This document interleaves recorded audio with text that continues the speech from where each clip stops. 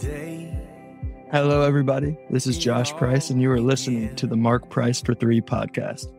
Each episode, my dad will be talking NBA basketball, sharing some coaching and instruction, and of course, talking about his faith. Without further delay, here's my dad, Mark Price. All right, everybody, welcome back to the Mark Price for Three podcast, episode 59. Today's a, a big day. We've got a new thing for the Mark Price for Three podcast. This is a three time returning guest. So, Mark, I'll let you introduce our guest. He's a fan favorite, and uh, I'll just let you take it from here. Well, we're welcoming Sam Amico back to the program. Welcome, Sam.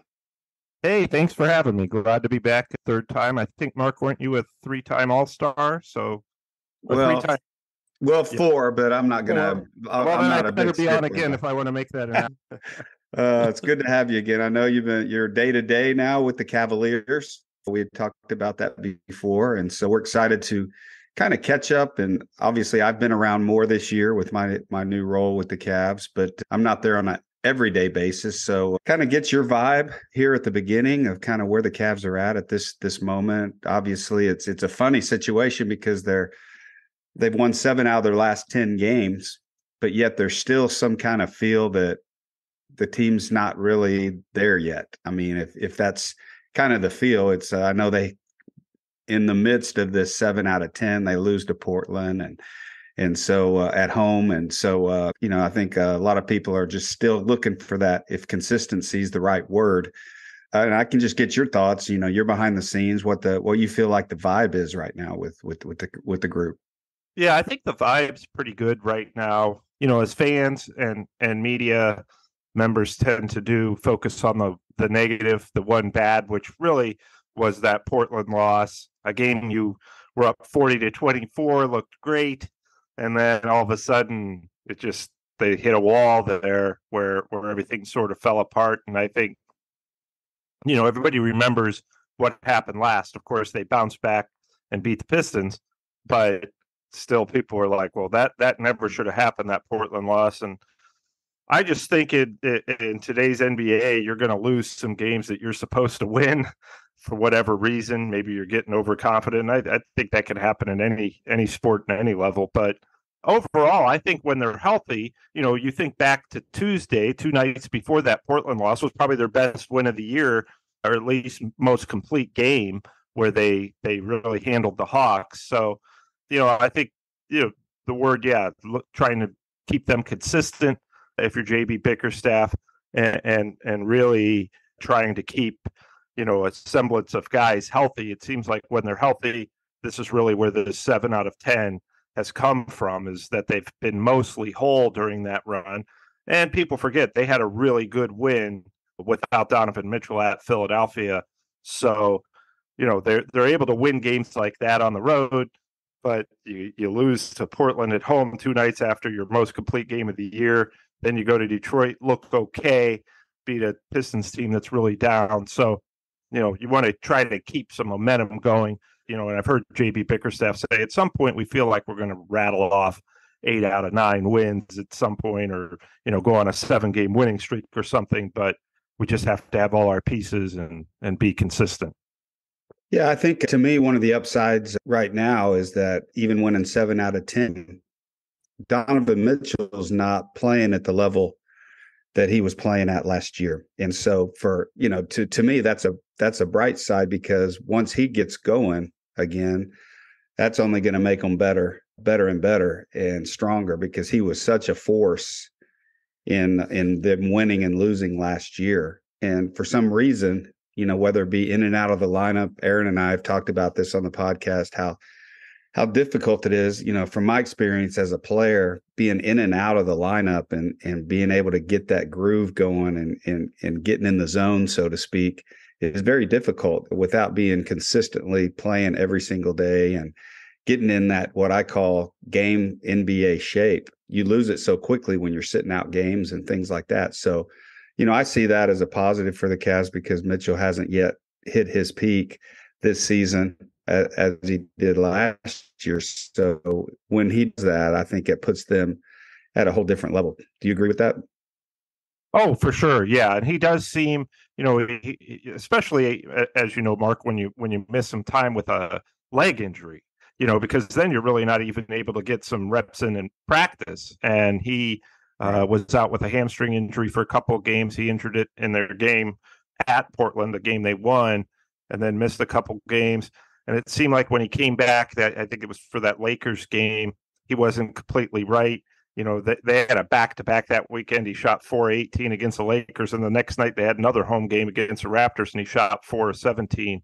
They were able to manage to, to beat Toronto. But if you remember that, they were really scrapping and really had to, you know, nip and tuck to win that game. Right. And then then he came back and had a really really nice game against Atlanta.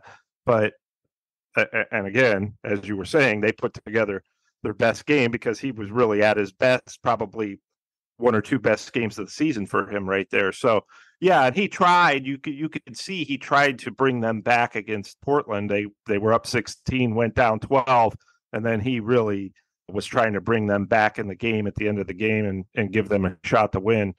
But yeah, I think I think an important thing too is to keep he and Garland in the lineup. You know, for them to have the good fortune of having both of them in the lineup at the same time, because it seems right. like it feels like they're still getting kind of used to playing with each other and who needs to defer when.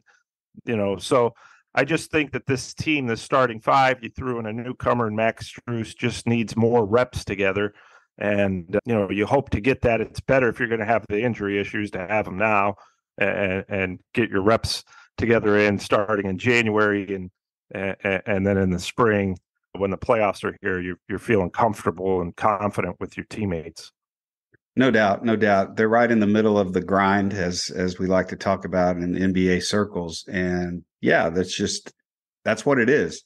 You know, you're grinding it out, you're grinding wins, you're just putting yourself in position to get to the playoffs. That's what that's what matters. And then hopefully you're healthy and you're grooving and you're playing your best basketball at the at the right time. And that's that's I think the long view that which is hard now. It used to be easier to have a long view back in my day, Sam, uh, when you didn't have 24 7 social media and ESPN coverage. I mean, every single every single day somebody's got a comment to make and they're not doing this and they're not doing that and it's really hard to keep your eye on the prize so to speak of the long game that hey you know hey we're not playing great but we still got the w right i mean it used to be a w is a w doesn't matter what it looks like uh, as long as you get the W. So I think the Cavs are going through that a little bit, and they are scrapping some games out, like you said, the Toronto game, and even Detroit. They didn't play great, but you know they got it done against a team that they needed to beat. So there are some positive signs in this, and and hopefully at some point they'll hit that hit that run like JB's talking about, winning eight out of nine, whatever, go on a streak, and really really start feeling good about themselves. Well, you talk about the long game, Mark, real quick. I thought the other day when they beat the Hawks, I wrote a story that was 800 words, which is usually way over my word count. And, I said, you know what? I, I need to slow down. There are 61 more of these if you don't include the playoffs. So then I thought, if I feel this way, you know, I can't imagine how they feel because they're going out on the court and doing this. So, right. Yeah, definitely, definitely, you know, it, it's easy, like you said, to lose sight that hey, we've got three times more regular season left than they've already played. So yeah, it's it's yeah. it's definitely a marathon. Well, let's Sam, let's jump away from the Cavs for just a moment and just talk about the NBA as a whole right now. There's there are some have been some interesting stories this year. One in particular, maybe because I played my last season there as a player and I also coached there, but talk about your thoughts on this Orlando Magic team. I mean, they they got to be the they got to be the story of the NBA so far. I mean, I don't think anybody at the beginning of the year would would have thought that out of the gate Orlando might be 14 and 5 or you know, what, you know 14 and 6 or whatever the record is at this current stage. You know, what's what's going on down there in Orlando? Well, I think, you know, it is a surprise in the fact that they're so young with with Wagner, front both Wagners, Franz Wagner and and Mo, and, and then of course Banchero and you know Jalen Suggs and Cole Anthony. They're just so young, but they're so balanced. And you know, not a lot of people talked about Jamahl Mosley as their coach. He's kind of an unknown unless you're really a diehard fan, of course. You know him Cleveland as a former Cavs assistant, but has really done a nice job bringing that group together. I don't think that they have one guy who's like, boy, he is the, you know, for sure all star, but they really have a lot of guys who play very well together. Young team, kind of like the 89 Cavs. They have all their pieces there and and really just you know if you were i'm sure you remember mark how you guys shot out of the gate that year and kind of surprised everybody. This team is similar to that. They're playing team basketball. They have a lot of weapons a lot of guys who can do a lot of things. Very versatile team and you know they've managed so far to keep all their key pieces healthy which is always important. But you know just a nice young team with a lot of pieces and a lot of guys who have played unselfish uh, when I, when I saw him you know play against the Cavs the Cavs weren't fully healthy but yeah it reminded me of a team it's like these guys really do a nice job of sharing the ball nobody's forcing anything and, and really you know sometimes these young teams come out playing with a ton of energy lots of hunger, and it seems like you know they they've really gotten their act together. Can they you know sustain it? Obviously, the Eastern Conference very tough, but this is very promising for them moving forward. You know, and then you you look out west. The big surprise out there, of course, would be the Timberwolves, fifteen and four. Really, it seems to me they, they have all the pieces with with Conley, but Gobert's been uh, I'm sorry with with Anthony Edwards and and and Gobert's been outstanding defensively, and and Mike Conley, of course, is uh, really a professional and really seems to have brought that unit unit together. So those are two big biggest surprises to me so far, without a, without question. Yeah, I think it's it's always fun to me. You hear the same teams year in year out and and things like that. It's I think it's good for the NBA as a whole to kind of have some fresh faces and some fresh uh, teams in the mix. And, uh, you know, with, you know, what are your thoughts on? Because I think a lot of people, at least after last year, talking about Minnesota, they didn't see the two big guys working out together, you know, Gobert and Big Cat, and, and, and you know, that thought that maybe that was a mistake trying to go that route in today's game, the way it's small ball in a lot of ways. Uh, but the rise, obviously, of Anthony Edwards, which happened a lot this summer playing for Team USA, he really separated himself and became a star in this league. Maybe started toward the end of last year, but you know, really this summer, I think he really started and made a difference and has made a big step. And then you got leadership there, Gobert, Mike Conley, guys that have been around, and so they're going to be an interesting team to see if uh, they can keep this thing going. But what are your thoughts on what they've done different, maybe with those two big guys this year that that kind of was a struggle uh, for them the last couple years? Yeah, I think that uh, you know it it took that they had some injury uh, uh, issues last year too, but I think sometimes it just takes guys a, a, little bit to get used to playing together, especially really when Karl-Anthony Towns and Gobert are both really centers, uh, almost in the old school sense. So I think that that that kind of it took them some time to get used to playing together. And then, really, to me, from what I've seen, I've only seen them a few times, but it looks to me like, you know, Anthony Edwards is their top option offensively, whereas in seasons past, he might have been number two to Towns. Um, right. And they seem to have figured out, you know, hey, let's have Edwards be our top option and Towns being 1A is a pretty good 1A it's just you're starting really, even though you have two big guys, you're starting the offense almost playing inside out with Edwards. And it just seems to be working that better. I think Mike Conley has been a big boost. They got him at the trade deadline. And I think with him, you know, just really a professional, a setup guy. He really keeps guys together in the locker room. Really, really kind of a leader that they needed when you talk yeah. about Edwards and Towns or younger guys. But Conley and like you said, Mark Rudy Gobert, those guys have tasted success before in the playoffs, and I think that that helps a lot too. So, you know, big surprise with them. Again, you know, you've got Denver out there, you've got Phoenix probably get its act together at some point. You know, the Lakers, the Warriors, the teams that we always hear about, but They they seem to the the one thing with Denver and Orlando is both or I'm sorry, Minnesota and Orlando, both of those teams really defend pretty well, and that mm-hmm. obviously can take you places. No doubt, no question about it. I guess you know you mentioned the Lakers, uh, obviously, particularly for those you know our listeners in the Cleveland area. You know, there's always interest in what's going on with LeBron James, and obviously at his age, and you know the question is, you know, does he have enough to to win championships anymore? I guess is is the big question.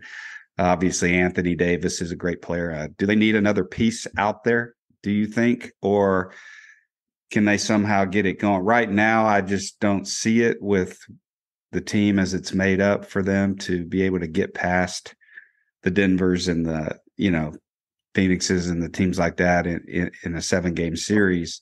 And what, in your opinion, you know what what would that piece look like you know what kind of player is that that they you feel like they need is it a primary scorer to take some load off of lebron just because of his age and things like that to where he doesn't have to have to get you 30 every night and he can be kind of more of his all around you know pass you know first kind of mentality that he likes to play with with good players around him or is it something that you know LeBron's going to do something that nobody's ever done, you know, as a 39 year old kind of lead his team through. Can he, can he do that? In your opinion, you know, Sam, at this stage?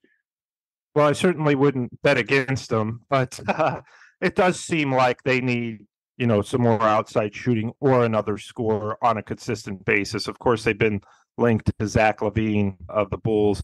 For right now, it sounds like they would have to give up way too much to get him.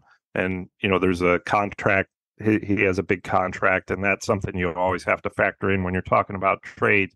But it does seem like if you're going to compete with the Denvers of the world or, or, or Phoenix or some of those other teams, that you're going to have to go out and get another another score to take some of the load off LeBron. I mean, he's going to be 39 at the end of the month, and you're you're asking him really to consistently be your guy. When they take him off the court, they're a totally different team. I think they're, you know, they go from a plus minus of plus 12 to negative 20 or something along those lines. Yeah. It's not good, even with Davis out there. It does seem like if you watch them and even just looking at their box scores, when Anthony Davis plays well, when he's their primary scorer, they win more often than not. When he's right. not, and he has those games where he's down in the 10, 12 point range, and doesn't have a lot of rebounds, it doesn't seem to matter what else LeBron does, whether LeBron has a 30 point game or not, they don't fare as well. So, you know, obviously you want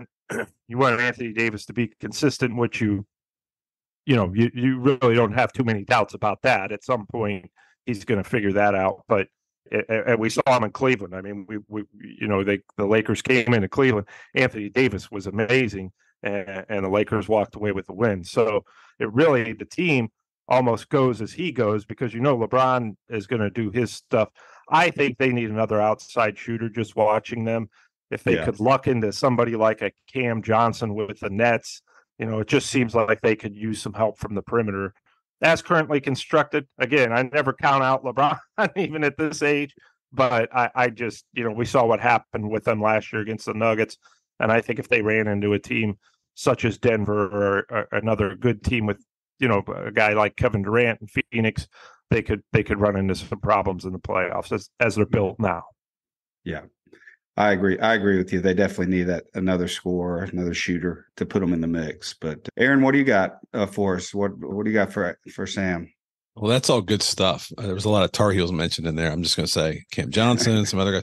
I agree with you. I think the LeBron problem too is is it's been a LeBron problem. Not, and I say problem in air quotes, but I think that's been the thing with LeBron. No matter what team he's on, you know, every year they say, oh, he's going to get less minutes. He ends up playing more minutes. Every year they say, oh, he needs more help, and then he ends up dominating. Like that's just the LeBron thing. It's the good and the bad with him, in my opinion. I got quick questions for you, Sam. Some rapid fire stuff. Uh, a lot of talk about JB being on the hot seat. What are your thoughts? I don't think he's on the hot seat at this point. You know, you you I think that people might because when LeBron James was in Cleveland, they expected you make the playoffs, you go to the finals. You know, so I, but I think in reality they're on track to what they should be doing. The Cavs getting in the playoffs, they faced a veteran team a lot of Cavs were playoff rookies. You know, Darius Garland, Evan Mobley, Jarrett Allen had barely played in the playoffs. So I, I think that they're on pace to do what they thought they would do, and they have won seven out of ten. So I, I, I don't think that there's any sense that that JB would be in trouble at this point. All right, next up, how much of this early season do you really think had to do with the in-season tournament? Did the guys care? You being around the team, did they care? Uh, apparently, during Atlanta, they did care, but at that point, it was almost too late because they poured it on and they knew their point differential and all that kind of stuff. How much of the in-season tournament do you think really mattered to these guys? Well, I think they cared once they got it figured out. you know, it was a exactly. hard thing to learn. You know, they, they when they beat Detroit, they, they played Detroit early in the season in the in-season tournament, and I don't think they realized at that point that, and in fact, they even mentioned that yeah, point differential counts in this tournament. So they kind of, you know, they lollygagged to a win over Detroit at home, beat them by like eight. We're in control the whole way. Probably could have beat them by 30, just didn't know didn't know yeah. the rules at that time. So, you know, I think once they got uh into it and, and kind of figured out the the rules and everything being new, then yeah, then you then you started to care and and want to go and and give it a shot. Now, do they care as much as you know they would for playoffs or anything like that? No, not even close. But you know, it was something uh, extra for them to to be incentivized about. So I I think they I think they cared enough. Let's put it that way. Yeah, yeah. Okay, two more for you where are we at with injuries and especially Ty Jerome? Like I, I thought it was just an ankle. I, I do you know do you know how long it's going to be on Ty? No, I you know they haven't really indicated that they they it seems like truly is a mystery to them. He did, you know, he was putting up some jumpers, I guess like a week or so ago, and he couldn't wouldn't feel comfortable landing on it. So he's kind of just out there shooting set shots, and then I think it was the Atlanta game or either Atlanta or Portland. I, you know, I saw him out there with a air cast on. So it sounds like, you know, it's a high ankle sprain. And when those things, you know, again, going back to your legs or your, your ankles, you're, you're trying to use those to get back on the court. And sometimes it can end up uh, making it worse or just not having it heal. So you know, the last time I talked to JB about it or asked him at the press conference was last week, and he said he thought uh, Ty was still a ways away. So, which is which is not like JB. He'll usually bring good news, but yeah, but yeah, he said so, sounds like he's still ways away. So I would probably expect to see him. Just a you know, I'm just guessing here. This isn't any inside information, but I'm thinking after Christmas. Well, the the good thing is it's allowed for the emergence of Porter Jr., who's been a great surprise early in the season. But I know Mark and I both are looking forward to seeing Ty Jerome, you know, what he can contribute. Last question for you. Speaking of up and coming players, what do you do with Emoni Bates? I know the fans, fans don't, I mean, obviously the fans are, you know, they see box scores, right? You see behind the scenes, is there a place for Emoni Bates, Bates or are we just mm. going to have to be patient and wait? Yeah, I just thought that last night. I was thinking about him because he's been playing very well in the G League. He looks really good in practice with the Cavs a lot of times. It just comes to a point that, you know, there are only so many minutes in an NBA game. You have 48 minutes. You have eight to 10 guys already that you feel are pretty good, are veteran players. You know, Craig Porter Jr., here's the difference. There's a spot there for him with mm-hmm. Ty Jerome having gone down. Then, of course, Garland and Mitchell went down. That really opened the door for Craig Porter Jr. He made the most of those minutes that, that he got. So with Bates, I think it's just a position thing. You know, you're pretty well man there w- with Mobley, Okoro, LeVert. When you're talking about the power forward, small forward spot, which is what Bates plays, it just seems like it's a numbers game with him right now. But yeah, I think at some point we may see more of him actually playing in a Cavs uniform just because he's been he's been so good both in the G League and and at practice. So yeah, you just got to be patient, I guess. You know, the good news is the front court's staying pretty healthy, so he's not getting any minutes. But you know, at the same time, people want to see him play. It's just it's there's no sense in bringing him up if he's only going to play a minute or two here and there. Right, right. Mark, what do you got? Face segment. Well, I just think you know, we're coming off Thanksgiving, and you know, we obviously all have have so much to be thankful for. And you know, I always Thanksgiving is always time to just I think of family and spending time together, all the things you're thankful for. But getting through Thanksgiving is my favorite part of the year. I love Christmas.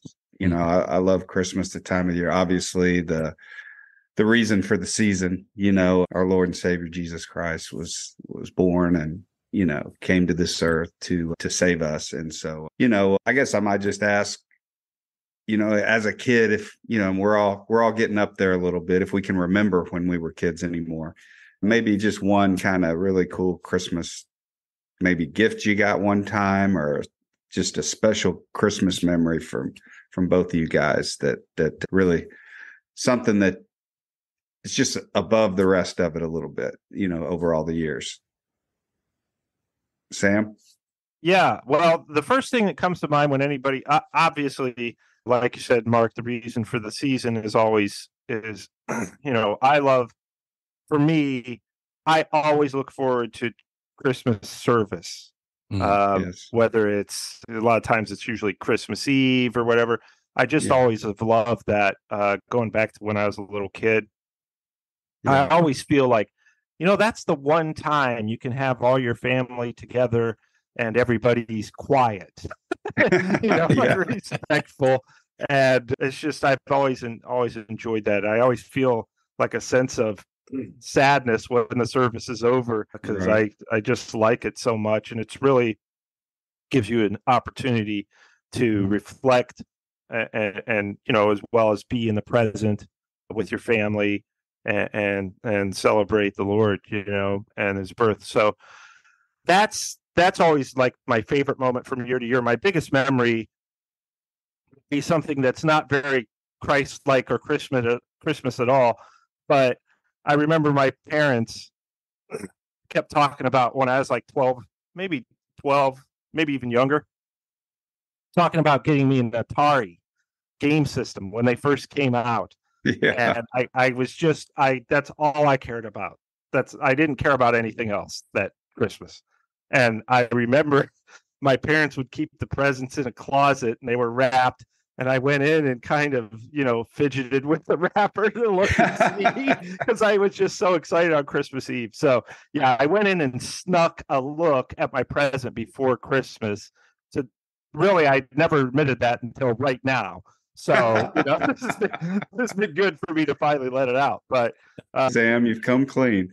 I came clean, but I I got the Atari, yeah. So, which I found interesting because my my dad ended up playing it almost more than I did. But yeah, it was a that was probably my one memory was I was just so excited to get that Atari. And I must have been younger because it was before I got my first basketball, and then you know as you get older, that that was really what excited you most. But yeah, the the the sneaking of the Atari was probably something I'm not real proud of, but it was it's still a cherished memory no less. That's awesome. That's awesome. What about you aaron? What's what's that one one thing you are the one surprise or that one gift that just you wanted you just had to have and santa came through for you? Well i'll be the contrarian. I agree with sam. Christmas eve was always amazing at 83 woodrow in bedford ohio. My mom that was her it was like a, a, wedding ceremony every year. She just put everything out all the bows and everybody that came over after christmas eve service would get a gift from the tree. She'd make something new every i mean it was just her you know super bowl and my dad was always busy in the kitchen you know keeping everything out there and the buffet on the piano. And I, just yeah i mean just great memories and so many great families that would come every year you know, looked forward to it. That was really special. But from the contrarian perspective, the one thing I always wanted was a VCR. We're really dating ourselves here, but Sam with his Atari. But I always wanted a VCR. My family was very religious. We didn't have a lot of albums in the house. We didn't have things like that. But for some reason, the very first VCR movie they got was Purple Rain by Prince and it was almost so it was almost the last time we had a VCR because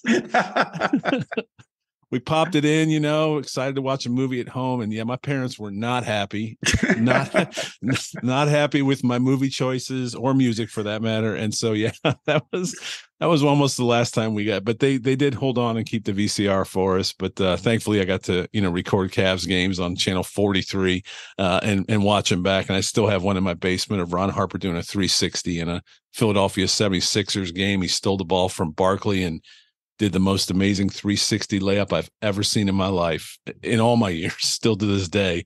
I have no idea how that ball went in. But uh, yeah, so I got a VCR.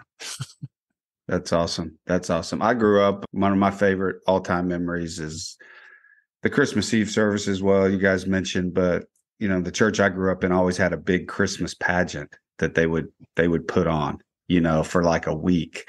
I mean, and you know, people would come from all over, and it was basically the the the the, the replicating the story of Jesus and with music and all the different things. And I just look so look forward to that every year. It was just there's something about that, you know, just the story, right? The story of of Christmas, the story of Joseph and Mary and and the birth of Jesus was just just something that it was so special and I enjoyed all those years. And so uh, that was a great, great, great memory for me. And my big thing is I love Christmas music. I mean, I just wait, you know, like I said, I enjoy Thanksgiving. It's a great holiday. I love it.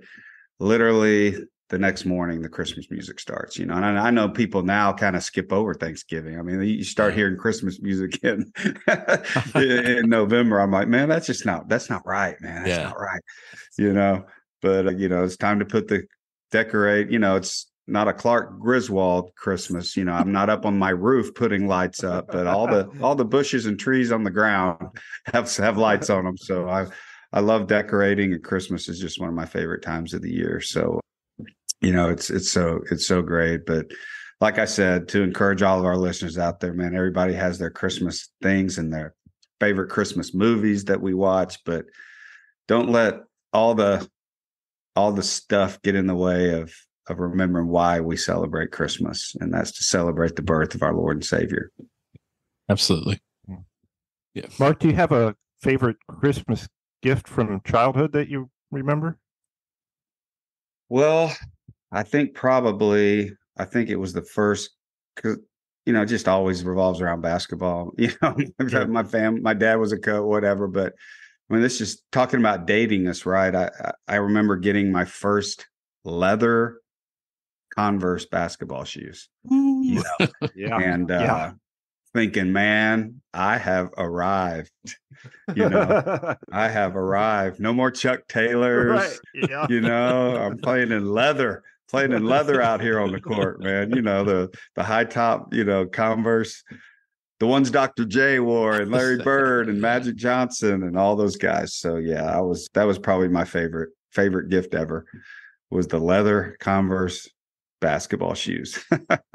Very neat. Yeah. It, and Sam, one year I do remember I I did the same thing. I stole a look at the Christmas gifts because my parents weren't very good at hiding them.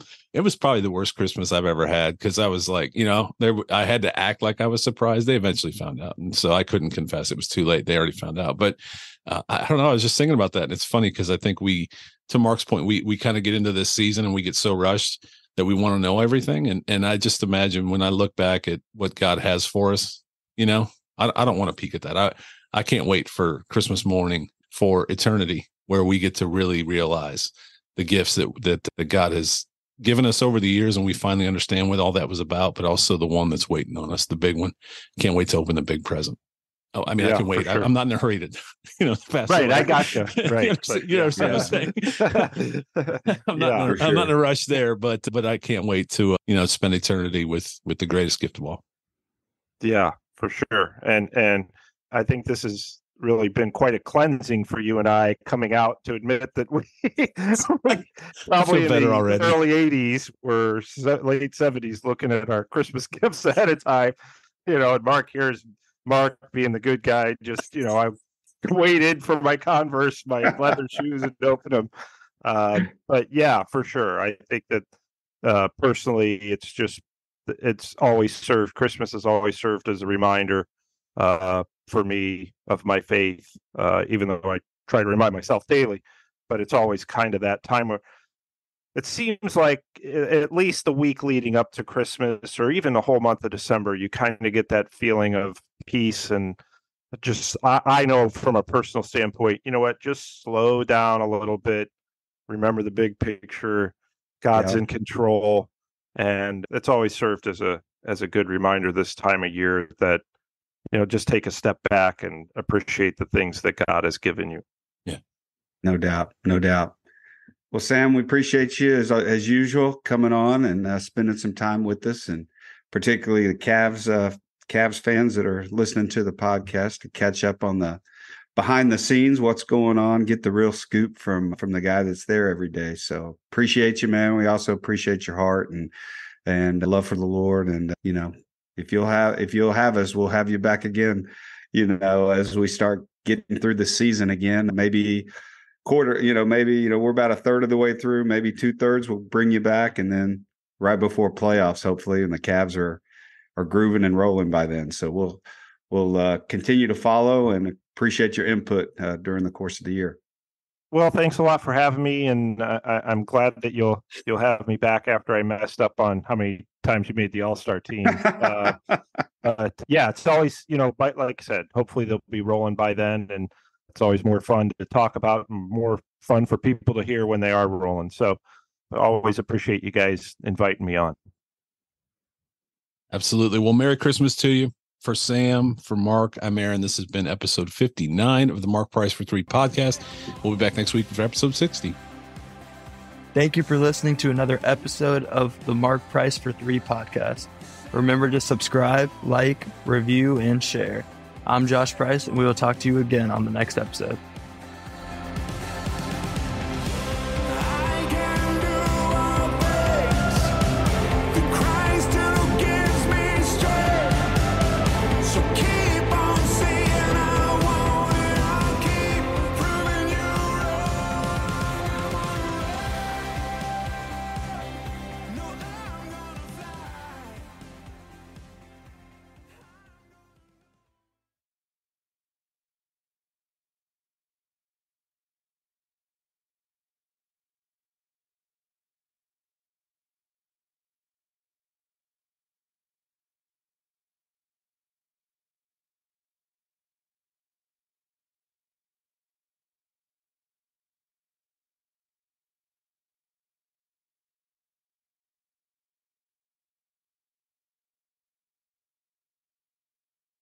You don't have to go very far looking for bad news because somehow it just finds you. So finding peace in the chaos can be really difficult, but it doesn't have to be because the River mobile app exists. The River is a Christian music radio station dedicated to playing music to help you get through life's toughest moments or life's happiest moments and everywhere in between, and all from artists who love Jesus and are real people just like you. Listening is easy. You can download it wherever you get apps from. Just search 1049 The River or listen online at riverradio.com.